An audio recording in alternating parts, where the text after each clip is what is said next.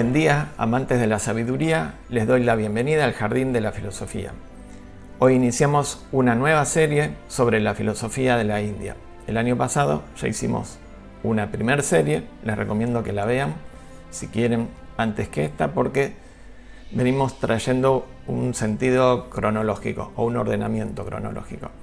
Este primer programa de la nueva serie está dedicado a una obra esencial de la filosofía y la espiritualidad hindú, como lo es el Bhagavad Gita.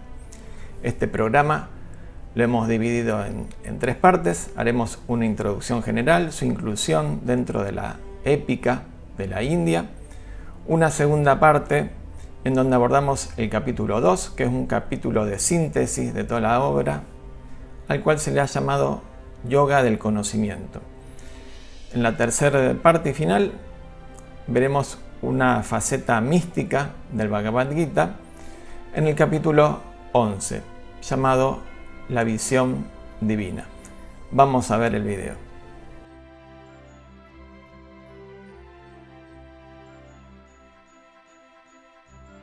Estamos presentando una obra de la espiritualidad de la India y ponemos semejante título. ¿Por qué? La Bhagavad Gita es un pequeño fragmento filosófico sapiencial de unos 700 versos, incluido en el Mahabharata, la vasta epopeya que tiene más de 100.000 versos pareados, llamados shlokas. Es el poema, por lo tanto, más largo del mundo. También incluye prosa. Para que se den una idea, la Ilíada tiene unos 15.000 versos y la Odisea 11.000. La extensión del Mahabharata es el doble de la de la Biblia. La mayor parte de la epopeya son diversas historias que giran en derredor del eje principal que es la guerra por el trono de Hastinapura, en el norte de la India. La ciudad se llamaba así. El término Mahabharata significa literalmente el gran Bharata. Bharata fue un gran rey legendario que unificó vastos territorios en el norte de la India convirtiéndose en emperador. El país de Bharata es un nombre alternativo para la India desde 1950, o sea, pocos años después de su declaración de independencia. No, no nos engañemos con respecto a la historicidad de esta narración. Si bien se puede basar en hechos reales, o al menos lo que se considera normalmente como real, debemos tener en cuenta que en la historia del Mahabharata se entretejen las genealogías divinas con las humanas. De acuerdo a la cosmovisión de esta epopeya, en el mundo real conviven los seres divinos y los humanos, y toda una graduación en el medio. Los relatos están plagados de seres de todo tipo, músicos y mujeres celestiales llamados Gandharvas y Apsaras, sabios míticos y demonios, rishis y asuras.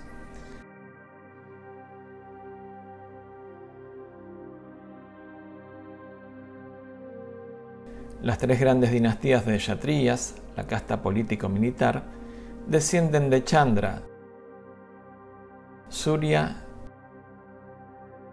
y Agni, los dioses de la luna, el sol y el fuego respectivamente. Esto no resulta extraño para la mitología griega, por ejemplo. Si tomamos a la Ilíada, veremos que los dioses participan activamente en la guerra y héroes como Aquiles, para dar solo un caso, tiene sangre divina, ya que era bisnieto de Zeus por línea paterna y de Ponto, dios del mar, y Gaia, diosa tierra, por línea materna. Su madre, además, era la ninfa Tetis. La genealogía del Mahabharata es mucho más extensa y atraviesa las edades míticas llamadas yugas. Y como no nos podemos demorar más aquí, Baste saber que hasta llegar al legendario rey Bharata hay como 20 generaciones desde Chandra, el dios lunar, nieto de Brahma, el dios creador.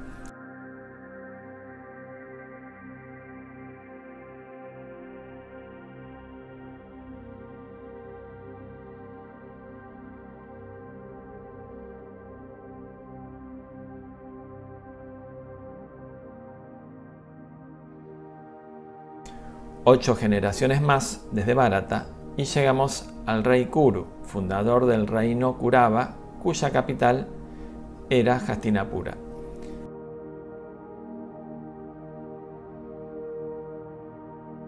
Seis generaciones más y llegamos a Vichitravira, el padre por un lado de Dhritarashtra, quien nació ciego y por ello no podía ser su sucesor, y por el otro lado de Pandu, por cuestiones que no vamos a describir aquí, los cinco hijos de Pandu, los príncipes Pandavas, se van a enfrentar en una guerra contra los príncipes Puravas, hijos de Dhritarashtra.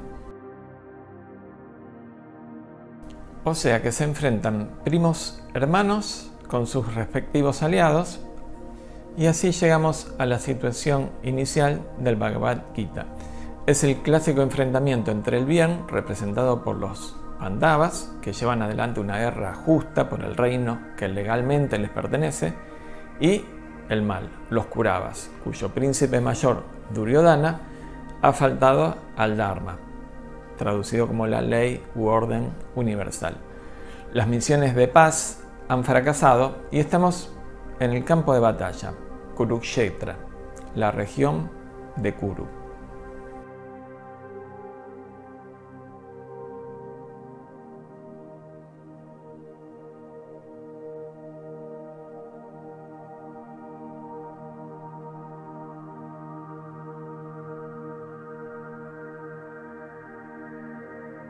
El Mahabharata consta de 18 libros y la gran batalla va a durar unos 18 días. El sexto libro se llama Bhishma Parva, o sea, el libro de Bhishma, cuando éste es comandante del ejército Kurava. Este libro incluye el Bhagavad Gita, o Canto del Señor, que consta también de 18 capítulos. Es como una arquitectura o una estructura fractal. El Bhagavad Gita original no tiene títulos de capítulos, sin embargo, como con el tiempo se convirtió en un texto independiente, se agregaron títulos a sus capítulos, como que cada capítulo es una forma particular de yoga.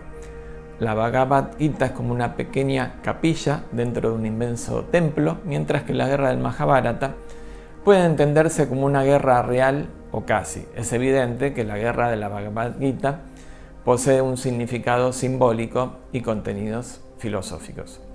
Y todo comienza con el cuestionamiento de esta misma guerra por parte de uno de los principales protagonistas. Como dato curioso que la mayoría de la gente desconoce, en el ejército Pandava había un argentino. Para, para, para, para. Como un argentino. un argentino.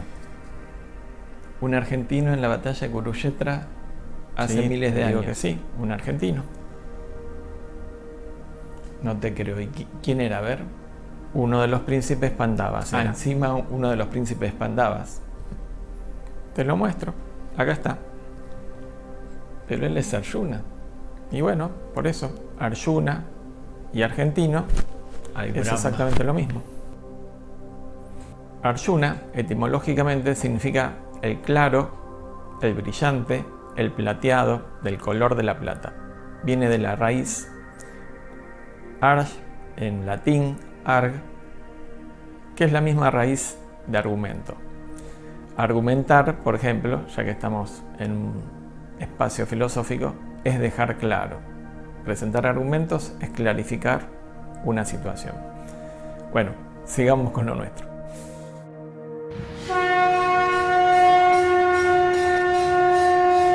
La guerra es inminente. Los guerreros principales hacen sonar sus caracolas.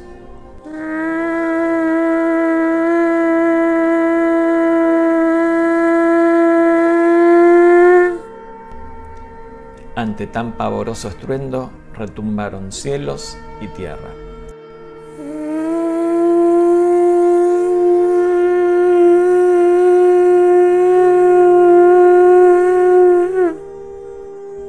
Príncipe Arjuna estaba en su carro de combate con su auriga, primo y amigo Krishna. Krishna no es una figura menor, es un líder militar del clan de los Yadavas, amigos tanto de Kuravas como de Pandavas. Por ello, en las tratativas diplomáticas, ofreció a Duryodhana, el líder Kurava, y a Arjuna, en el caso de ir a la guerra, o su ejército o él mismo, aunque resuelto a no pelear en el campo de batalla. Arjuna elige a Krishna de su lado y como no peleará, acepta ser su auriga. Duryodhana, obviamente, elige al ejército. Justo antes del inicio de la batalla, Arjuna le pide a Krishna que conduzca su carro al medio, entre ambos ejércitos, para poder observar los dos bandos.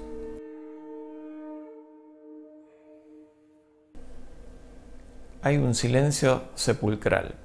La tormenta está por desatarse. Pero con esta acción, Arjuna y Krishna se distancian, paradójicamente, de esa situación, colocándose en el centro. Es esto una mirada filosófica.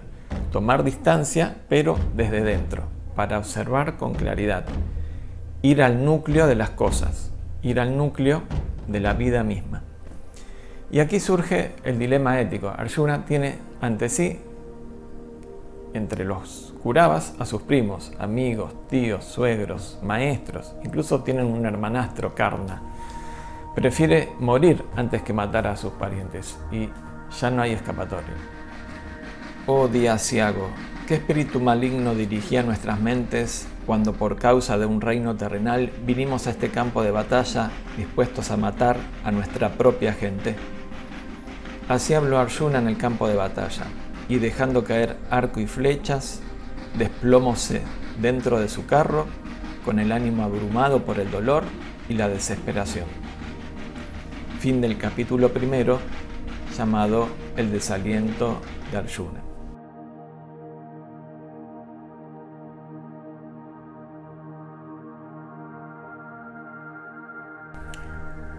Ahora vamos a ver la respuesta de Krishna ante la actitud de Arjuna, de acuerdo al capítulo 2, que como dijimos, es una especie de síntesis de todo el Bhagavad Gita. Vanas son tus palabras, oh Arjuna, como vana es tu pena. El sabio no se aflige ni por los vivos ni por los muertos. Porque no hubo un tiempo en el que yo no existiera, ni tú, ni estos reyes, y nunca dejaremos de existir. Así como Latman pasa por la infancia, la juventud y la vejez en el cuerpo actual, así también pasará a otro cuerpo. El sabio no se engaña con respecto a esto. Se engaña quien cree que el Atman puede matar o morir, pues ambas cosas son imposibles. Desde el principio, Krishna hace que la mirada vaya de la circunstancia, de lo cotidiano, a lo trascendente, de lo aparente a lo real. Al introducir la cuestión metafísica de la inmortalidad del alma, hace que tengamos un enfoque global de la existencia. El tema de la reencarnación lo abordamos en un ciclo el año pasado. Les dejo arriba la etiqueta de la reencarnación en el hinduismo. También les dejo el enlace al video de la filosofía Sankhya, la misma que está expresando Krishna a lo largo de todo este capítulo. Aquí ya queda marcado el carácter filosófico del Bhagavad Gita, que por supuesto resulta inverosímil en el contexto de la inminente batalla. Imagínense un diálogo similar entre el artillero y el conductor de un tanque ruso atacando Ucrania. Y es que justamente por ahí pasa la cuestión. Nosotros como Arjuna vivimos en el mundo pasajero y estamos siempre en el medio de la batalla existencial sin saber qué hacer ni para qué. El Gita nos lleva didácticamente a imaginarnos una antigua y lejana batalla, pero de entradas nos lleva a enfocarnos en realidad en nosotros mismos y en nuestra propia situación existencial, esa que compartimos todos los seres humanos, ese misterio que atrae a la mirada filosófica. No es una justificación esta filosofía o una garantía, es una meditación. Le dice Krishna a Arjuna que se enfoque en su propia naturaleza trascendente. El problema no es la crueldad de la guerra y la matanza, es la ignorancia. Por eso este capítulo le dieron el nombre del yoga del conocimiento. Krishna no apunta a ofrecer simplemente una garantía para la acción como diciendo pelea y mata que no pasa nada. La idea es salir de la ignorancia que nos envuelve y actuar desde un nuevo lugar. Krishna no ofrece un mero conocimiento intelectual que sirva de justificativo a la guerra. Hasta el verso 30 de este capítulo se centra en este enfoque. Luego dice, por otra parte, no debes eludir tu deber, pues no hay mayor bien para un guerrero que una guerra justa. Afortunados, o parta, los yatrillas a quienes, sin buscarla, se les presenta la ocasión de una batalla, pues es como una puerta abierta a los cielos. Yatrillas es la casta política y guerrera. Aquí el texto es contundente. Al guerrero que participa de una guerra justa se le abre una puerta a la trascendencia. No hacerlo es una falta gravísima, es peor que la muerte. Este es un enfoque tradicional y extendido, no es único de, la India. Podemos ver algo similar en los antiguos griegos, por ejemplo. Siguiendo con su estructura pedagógica, en el verso 39 del capítulo anuncia un nuevo tema. Te he mostrado el camino del Sankhya, ahora te mostraré el camino del yoga. Siguiéndolo, te librarás de la esclavitud de las acciones. ¿Qué piensan que le va a enseñar Krishna? Le va a enseñar unos ejercicios físicos, unas posturas. ¿Le va a enseñar a meditar? No, para nada. Vamos a ver qué nos dice en el verso 47. Solo la acción constituye tu deber, no sus frutos. Los frutos de la acción no deben ser tu objetivo, sin que por ello eludas la acción misma. Actúa con desapego, indiferente al éxito o al fracaso. El camino del yoga es la ecuanimidad del ánimo. Aquí podemos comprender la articulación de este capítulo. Primero Krishna habló de la naturaleza eterna del alma o Atman, del ser interior y la reencarnación. Luego del deber del guerrero y aquí realiza la síntesis. El guerrero tiene que pelear no por la gloria o por alcanzar el cielo, sino que en la conciencia tiene que adoptar una postura de indiferencia y ecuanimidad. Actuar sin actuar sería esto. Moverse estando quieto. Krishna apunta aquí a romper con la cadena del karma y por lo tanto romper con el eterno ciclo de reencarnación. Toda acción genera una consecuencia, pero manteniendo esta conciencia de ecuanimidad, uno no se ve afectado. Permanece en el estado de yoga. En síntesis, primero Krishna nos llevó a enfocarnos en el ser, ahora nos da la clave para no perder ese enfoque aún en el medio de estas circunstancias tan terribles. En este mundo, el hombre que actúa con desapego escapa al fruto de las acciones. Por lo tanto, sigue el camino del yoga, el camino de la acción desinteresada. Cuando tu entendimiento haya atravesado el pantano de Maya, serás indiferente a lo que hayas oído y a lo que oirás. Maya es la ilusión, lo pasajero, el espectáculo este que vemos de la materia. El verdadero guerrero es el que atraviesa con su espada el velo de la ilusión.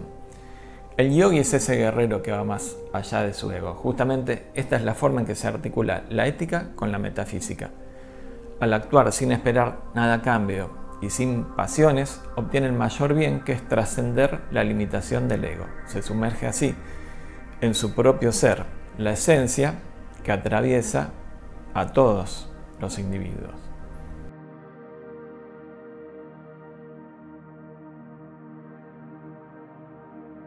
Después de la metafísica y la ética asociada, hacemos un salto en esta obra y nos vamos a la fase mística, en el capítulo 11 titulado El Yoga de la Visión Divina.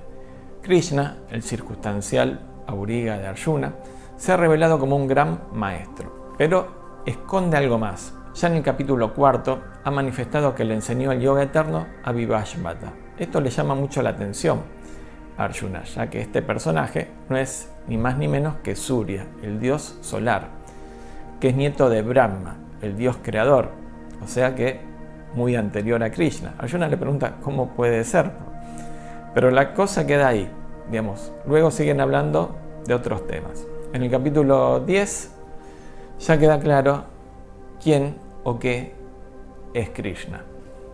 Has de saber que ni los dioses, ni los iluminados, ni ser alguno conoce mi principio, pues yo soy el principio de todos ellos. Quien sabe que no tengo nacimiento ni principio, que soy el supremo Señor de cuanto existe, ese está libre del error. Y ahora sí, a Arjuna ya no le quedan dudas que su amigo Yauriga es un avatar, una encarnación divina. Entonces le pide que le hable de sus manifestaciones y que le indique cómo llegar hasta él. ¿Cómo puedo conocerte? ¿En cuál de tus aspectos debo centrar mi mente cuando medite en ti? Esto es claramente necesario ya que nuestro condicionamiento nos impide percibir lo infinito, lo absoluto. Hay que encontrar las puertas para comprender eso, que son las puertas de la libertad, de la liberación de la conciencia. Krishna entonces hace una enumeración de sus principales manifestaciones, ya que al ser infinito no tienen fin. Por ejemplo, dice en el verso 33 del capítulo, del alfabeto yo soy la letra A. En el Apocalipsis leemos yo soy el alfa y el omega, la primera y última letra del alfabeto griego. En el último verso de ese capítulo, Krishna le inquiere, ¿para qué necesitas conocer la inmensa variedad de mis manifestaciones? Bástete saber que con una ínfima parte de mí sostengo el universo.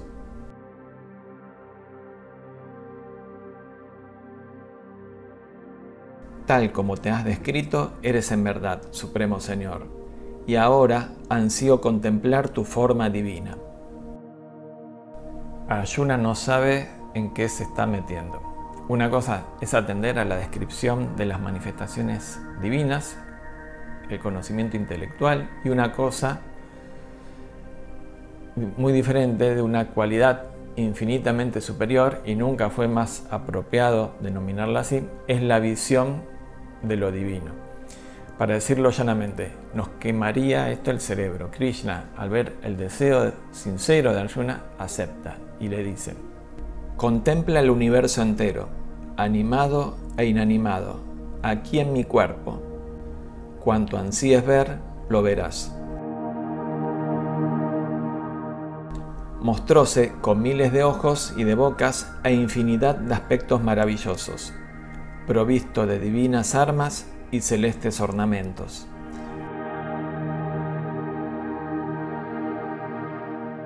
Ataviado con deslumbrantes vestiduras y joyas, ungido con óleos de celestial fragancia. Todo lo llenaba el Señor, espléndido e infinito.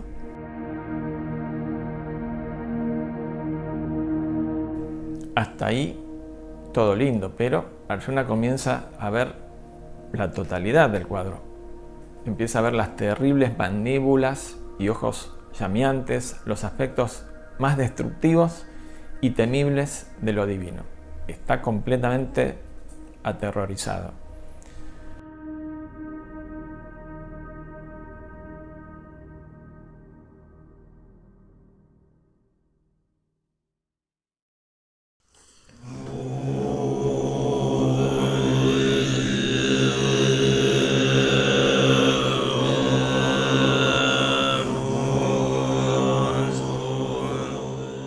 Tus mandíbulas terribles, cual fuego devorador, quedo confuso y presa de gran desasosiego. Ten misericordia de mí, oh Señor de los dioses, mansión de los mundos. Al margen, cuando se detonó la primera bomba atómica, la primera prueba, Oppenheimer, el que estaba a cargo del proyecto, recordó el verso del Bhagavad Gita, ahora me he convertido en la muerte, el destructor de mundos.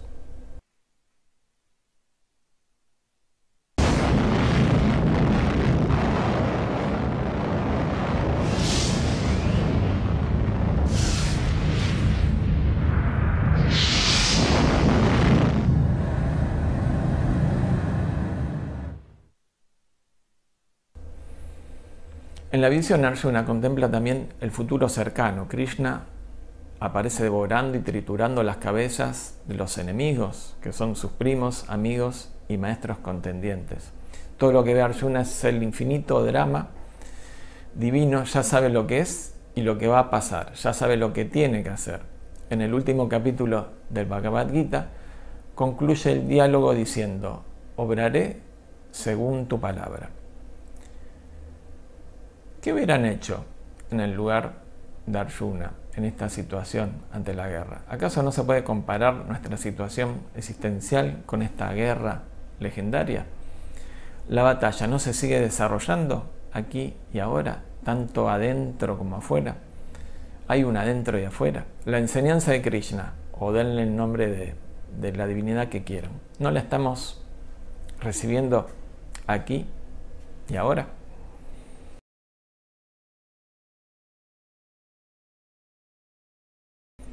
Así llegamos al final con todas estas inquietudes. Así que los invito a que si quieren puedan responder en los comentarios algunas de estas preguntas.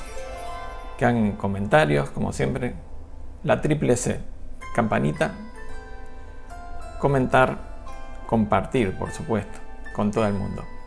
En el próximo programa seguimos con la serie de la India abordaremos una obra fundamental de la filosofía del yoga, los Yoga Sutras de Patanjali. Así que nos veremos pronto. Antes, posiblemente, desde ya les aviso, va a haber un pequeño programa, microprograma de la sección expansión, con un tema relacionado a esto que estamos viendo y al programa anterior. No se lo pierdan. Nos vemos la próxima semana.